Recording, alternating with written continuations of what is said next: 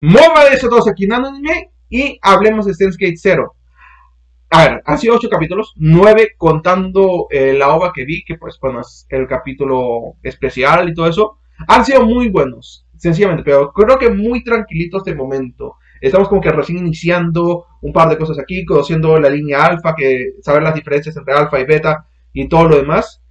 Pero creo que con lo último que hemos visto con Cristina, Amadeus ha sido secuestrada. Creo que ya comienza a, a el plan y ya tenemos que comenzar a, hacer las cosas, entrar en acción, como usualmente se dice. Y creo que ese va a ser lo que va a pasar en los próximos capítulos. Así que bueno, ya, sin nada que decir, que si quieres venir a ver Gate 0 conmigo y Kaiju número 8, que lo veo lunes, miércoles y viernes a las 7 de la noche, lo el link como siempre abajo en la descripción. Empecemos con este video.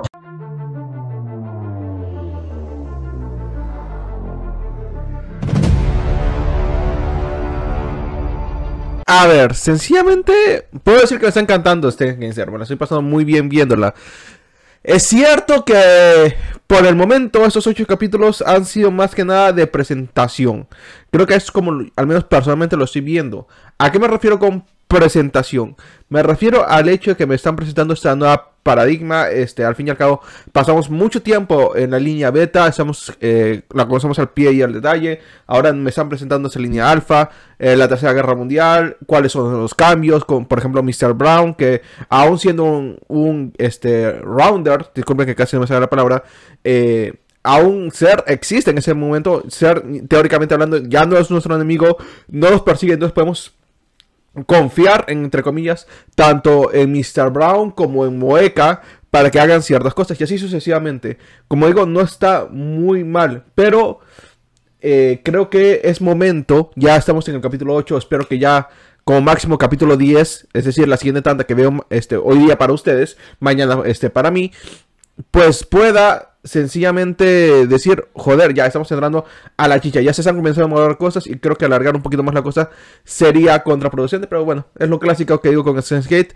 le digo, esto tiene que pasar para mejorar y lo mejora, o critico algo y al toque me lo replantean, me lo cuestionan y me dicen, así es papá, y así tiene que ser. Así que pues nada, sencillamente la serie ha estado muy bien, pero es momento de comenzar a ir a la chicha del asunto, como digo. Y para que entienda mi punto, quiero dividir el video en cuatro sencillas partes. Primero quiero hablar de la trama, de lo que ha pasado básicamente en esos ocho capítulos. Eh, bueno, nueve contando este, el capítulo cero que también vi. También quiero hablar de Ocarín, quiero hablar este, un poco de las diferencias de lo que es la, la línea alfa, que creo que es importante mencionar esto. Y finalmente mis teorías de lo que creo que va a terminar pasando. Son cuatro puntos muy sencillitos y empecemos.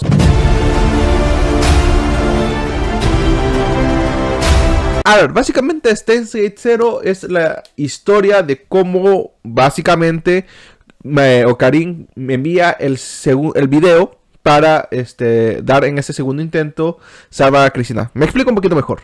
Eh, al final de Steins Gate, literalmente este, vemos como Ocarín, eh, pues intenta salvar a Cristina, falla épicamente y ya está a punto de rendirse y no es hasta que se envía un video, un email con un video básicamente mostrando eh, y armando un plan muy interesante que pues obviamente necesitaba que él fallase en primer lugar para que este mensaje y todo esto ocurriese. Me lo explicaron muy bien en Stance Gate y este es mi mayor miedo actualmente. ¿Por qué? Porque básicamente Steins Gate 0 es la historia de este mensaje. Es decir, partimos y el, episodio 0 es básicamente Ocarín destrozado después del primer intento.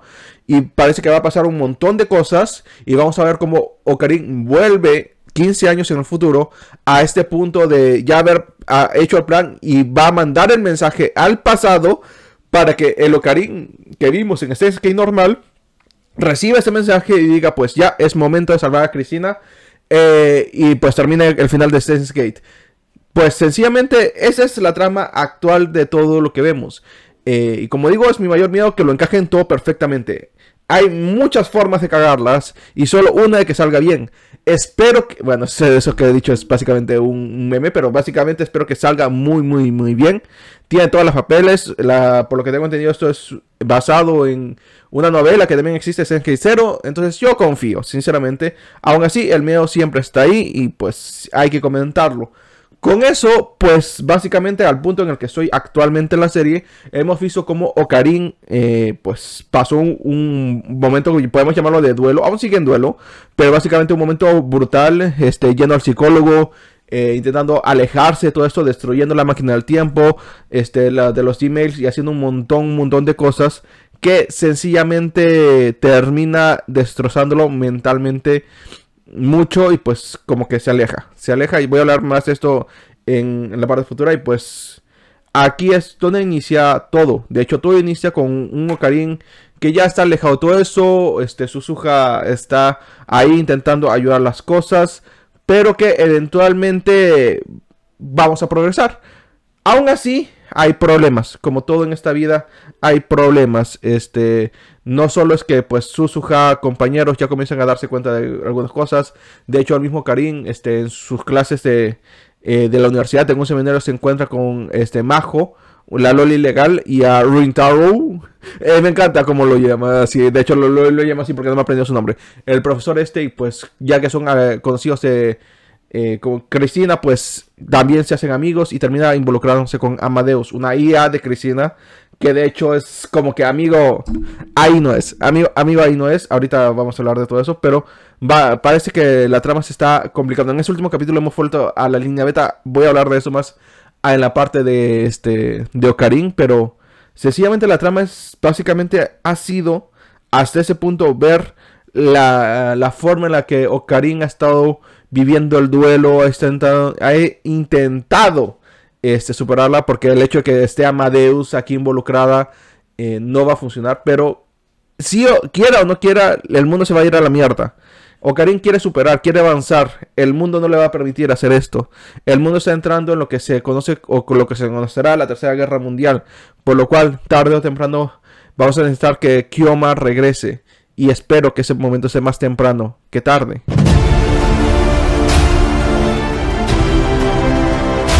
Ahora sí, vayamos a hablar de mi queridísimo Ocarín. A ver, ¿cómo digo esto? Te entiendo. básicamente, amigo mío, si es que yo hubiese vivido, lo he dicho, en lo dije al final de, de Gate, si yo hubiese vivido lo que él vivió, no, solo el 10% de lo que él vivió, yo ya estaría este, debajo de mi cama llorando con mi osito de peluche abrazado. Sinceramente, y genuinamente ese sería el caso. Porque la verdad es que lo que él ha vivido no tiene nombre. Bajo ningún concepto tiene forma alguna de sencillamente acabar con todo esto. ¿A qué me refiero? Eh, básicamente él acaba de salvar a Mayuri sacrificando a Cristina. Pero que ahora viene Suzuha y le da esperanzas y las esperanzas valen para tres hectáreas de mierda. Ya que ahora es él quien resulta matar a Cristina y sinceramente es como que, ¿para qué? Le dices un trauma gratuito al desgraciado y ya está. O sea, fue lo más jodido que pudo haberle dado a Suzuka en él. Pero aún así era necesario, al menos bajo mi punto de vista, que él viviese todo eso. Al fin y al cabo, todo lo que estoy viendo es la construcción de ver a ese Ocarín de creo que es 35 años, no, es 15 años en el futuro, creo que es casi 40, 30, 33 por ahí, este, que va a poder salvar a Cristina o que le va a dar los ánimos para salvar a Cristina. Pero la verdad es que ya ha sido mucho. Puedo entender al viejo, tal vez no lo comparto, de que eh, pues él quiere seguir adelante, ya no quiere saber nada que con esto, sencillamente quiere aceptar lo que hizo. Aceptar que pues sencillamente no pudo salvarla, que la mató literalmente y vivir con esa cruz el resto de su vida. Intenta seguir adelante, ir a la universidad, hacer lo que una persona normal hace. De hecho, el primer capítulo ya de Stance Gate como serie, pues me parece muy bueno en eso. Porque me muestran un Karim que no es Ocarín, es un Ocarín que intenta ser otra persona, ser una persona normal entre mí y un comillas. Pero que al fin y al cabo ese mismo capítulo termina con Amadeus, quien es el recordatorio total. Y amigo, te puedo, otra vez, te puedo llegar a entender. Quieras o no quieras, con todo el tema actual de las IAs, si es que eh, sacan una IA de una persona que yo quiero y que pues lamentablemente ha pasado mejor de mi vida, creo que más si uno se sentiría tentado como mínimo a interactuar con esa inteligencia artificial. Y eso es lo que hace Ocarín. Termina interactuando con Amadeus, termina sencillamente haciendo todo esto y volviendo a meterse en todo este embrollo. Intenta mantenerse alejado de tanto Suzuha, de todo el tema de los viajes en el tiempo, pero creo que con este último capítulo ha sido arrastrado de nuevo a esa trama. ¿A qué me refiero? Pues él estaba eh, literalmente obsesionado con Amadeus, intentando reconstruir este, la relación con sus eh, antiguos amigos y todo normal cuando pues llega un atentado. Atentado que literalmente cuando pasó yo estaba diciendo, ah, alguien va a morir. Yo ya estaba haciendo mis apuestas. Yo ya estaba haciendo mis apuestas de que, ah, Kagari va a morir, Ruka, no sé, estaba por ahí diciendo alguien va a morir, pero por suerte, y gracias Mr. Brown, nadie salió herido. De hecho, algo que habla mucho de la madurez eh, mental de Ocarina en estos meses ha sido el hecho de que, pues, a pesar de todo, eh, sabe que Mr. Brown actualmente no es un enemigo, por lo cual podemos confiar en él y hacer un trato con él. Ahora bien, el tema es que en ese ataque secuestraron o robaron a Amadeus. Amadeus termina mandando un mensaje o llamando a Ocarina, lo cual activa su habilidad de cambiar entre líneas de tiempo y regresa a la línea beta. En esta línea, con Cristina, es doloroso en más de un sentido. O sea, yo entiendo que Ocarina se desmoralice demasiado. O sea, es, ya es mucho. Ocarina no es, es una persona normal, no es un héroe, no es nadie. Es, es alguien que sencillamente quiere vivir su vida y va y pum, se acabó. Pero la vida la, lo jode en más de un sentido, mi queridísimos amigos. Y eso es mucho. De hecho, es Cristina quien tiene que tomar la decisión por él, porque sencillamente él no puede tomarla. Quien termina tomando la decisión es Cristina, con una escena muy bonita, con un beso, pero como dije, ya es momento. Ocarín ahora ya fue arrastrado entre las líneas temporales ya sin que él haga algo. Ya está siendo de vuelta metido en toda esta histeria colectiva y la verdad es que va a terminar o va a terminar siendo involucrado quiera o no quiera gracias a su habilidad. Lo cual me lleva a pensar que Kyoma está de regreso. Y que este, este último capítulo que fue sencillamente devastador, doloroso para él, verlo así de tumbado, así de destrozado, es el momento para que tome eh, ánimos, tenga ese, ese push, ese plus, discúlpeme, de motivación que necesita para regresar, para salvar a Amadeus, quien, bueno, hablaré un poquito más de eso en mis historias porque ahí tiene que ver, va a ser bastante utilizada por o por quienes fueron secuestrados o por quien la secuestró.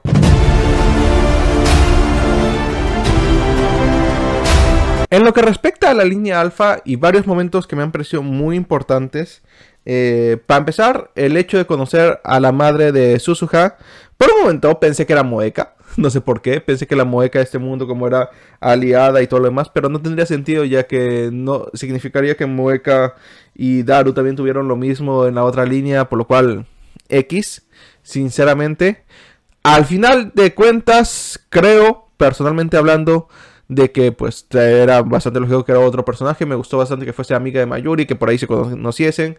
Y quitando el hecho de que, amigo, en serio, eh, pasa el tip. Fuera de bromas, fuera de absolutas bromas. Pasa el tip. Estás, estás, o vas a salir con una cosplayer que está buenota. Eh, eres básicamente la imagen del otaku de los 2010. Pasa el tip, amigo mío. Daru, por favor. Quitando eso, eso de lado, eh, pues aparte de eso, como digo, comenzamos a hablar y a conocer esa línea, las diferencias. Ya no solo la madre, es cosas como que ser, lo que mencioné, que está de nuestro lado. Mueca ya no es una obsesiva con los textos, sino es alguien que ya más se va viendo eh, el lado humano, es reportera, habla más, lo cual me gusta. Entonces, son las diferencias, lo cual me termina gustando. Esos ocho capítulos básicamente se han cimentado en no solo la parte de Ocarina, sino ver estas diferencias de los acontecimientos que tal vez conocemos, de introducir nuevos personajes en esa línea que en la línea beta no conocíamos, como lo es eh, Majo, personaje que me cae bastante bien, pero todavía no tengo una idea muy bien planteada de ella como personaje, es sencillamente en palabras sencillas, un ratón de laboratorio bastante torpe socialmente, cosa que me agrada. El profesor, el Ruintaro, es un personajazo. O sea, el tipo es un carisma, es literalmente un gringo. Es como si tú o yo, este extranjero, eh, latino, extrovertido. Bueno, yo soy extrovertido, pero se entiende el punto. Este, vayamos a Japón y es como que ¡Eh, ¡Es Japón! Cosplayer. No se lo veo por. Lo veo así me cae bastante bien. La que me da dudas, sinceras dudas, es. Eh, ¿Cómo se llama esto? La eh, profesora, quien creo que es la pareja de Rintaro y otra profesora de Majo, que tiene unas miradas, o sea, la serie como que tiene miradas, es como que siento que esa, esa tipa es la que ha, hemos tenido ahí como un topo para que se puedan robar a Amadeus. Pero como digo, la línea alfa es muy interesante. Y en esto, en este penúltimo capítulo, me ha parecido bastante, bastante curioso que ya no solo pues los que conocemos, Daru, Karin, Suzuka, sean personas que conozcan el tema del viaje en el tiempo, sino que otras personas pues pueden conectar dos puntos y decir, ok, aquí está pasando algo raro, como lo son Ferris y Ruka, que al fin y al cabo dicen, oye, ¿por qué Suzuka, que en esa hermana de Daru, llama a Mayuri, Mayuri Nesan, a Okarin, a tío Okarin? O sea, son como que es muy extraño y todo, todo termina pasando muy fluidamente, lo cual, como digo, me agrada bastante. Al final, también todo el tema de Kagari es algo que aún no entiendo muy bien. No, este, no crean que lo estoy saltando por porque pues no me gustó ni nada, simplemente que me parece muy raro. Sé que es la hija adoptiva de Mayuri, pero no sé por qué involucrarla en, en, la trama, por qué meterla. Ahorita es un personaje que pues es entretenido. Es básicamente Cristina con más trama, si saben a lo que me refiero, pero poquito más.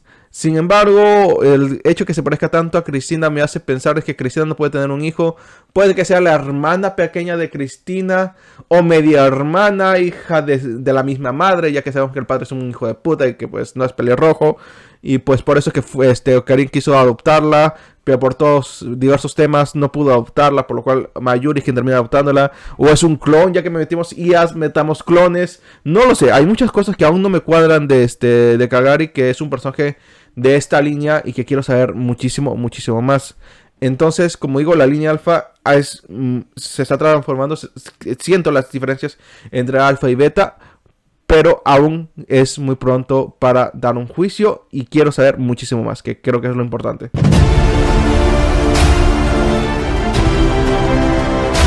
Finalmente quiero hablar de una de mis teorías, de la teoría que creo que más hincapié se va a hacer en estos próximos capítulos, que es sobre la, el rapto o el robo de Amadeus. ¿A qué me refiero? Pues muy sencillo. Como digo, Amadeus ha sido robado. Lo que quiero saber es por qué. Y esa es mi teoría. Amadeus ha sido robado por los rusos. Por lo que tenemos entendido, los rusos han, este, bueno, el padre de, de Cristina ha llegado con los rusos, tienen la teoría de, este, de Cristina y como que están queriendo hacer este, básicamente una máquina del tiempo. De hecho, hay una nota al pie en uno de los capítulos. Mientras estamos conversando, pasa un televisor ahí al costado que tiene la leyenda de terremoto en tal lugar de Rusia, como que, como que ahí cuidado. Eh, entonces, como que están haciendo esas pruebas, pero como que no lo logran. Es como que el baboso de, este, del padre este, no es suficiente y necesitan a, a Cristina, Cristina para crear la máquina del tiempo. Entonces, es por eso que han secuestrado a Amadeus. No tienen a Cristina porque ella está lamentablemente tres metros bajo tierra. Entonces tienes este que lo más cercano es Amadeus. Por lo cual, por eso es que ha sido secuestrada. Para usarla a favor de ellos mismos. Para usarla en todo este tema de los viajes en el tiempo, bla, bla, bla, bla, bla, bla. Entonces, esa es básicamente la idea. Sin embargo, Amadeus se bajó muchísimo tiempo y, es, y que pues obviamente contra su voluntad, contra todo, y termina llamando a Ocarín en el pasado. Como sabemos, la máquina del tiempo tiene como que sus etapas. Primero mandas unos bits, luego ah, este, pues mandas las memorias, luego supongo que integras con objetos inertes, luego con objetos orgánicos inertes, luego animales, luego personas. Básicamente como un proceso. Entonces creo que en algún punto del proceso, este, Amadeus eh, se vio involucrada y pues dijo, mira, voy a llamar a Karim para que evitar todo esto. Y eso lo que hizo fue cambiar las líneas del tiempo, volver a beta. Y por eso pasa todo lo que pasa en el capítulo 8. Eso es lo que creo que va a pasar. También sé que esto es una tercera guerra mundial. Sé que actualmente los rusos están con todo el tema de la máquina del tiempo, pero hay otra organización que sabemos que está con la máquina del tiempo, que es, eh, pues, ser que son la Unión Europea, en teoría. Entonces no me extrañaría que esa tercera guerra mundial sea entre ser y esta organización o estos rusos, sencillamente. Pero por el momento habrá que ver. Creo que son mis teorías. Creo que ahora que eh, sabe que independientemente de, lo que haga, va a haber gente jugando con la máquina del tiempo y él va a ser el que va a sufrir, va a intentar eh, detener las cosas. Y creo que junto con Majo, el, el primer paso que tienen que hacer es rescatar a Amadeus. Y eso es lo que eh, creo que va a pasar en los próximos capítulos. Ya entrar en acción. De vuelta a la acción, sencillamente. Así que bueno, ya sin nada más que decir, que puedes dejar un buen like, comentar, suscribir a todo lo que quieras. Y nos estás viendo el día de mañana con otro video. Bye. Bueno, si has llegado hasta aquí, quisiera agradecerte y si es que no es mucho pedir, pedirte un like, que eso me ayuda bastante porque recién estoy empezando. Y nada más, muchas gracias por ver y hasta la próxima.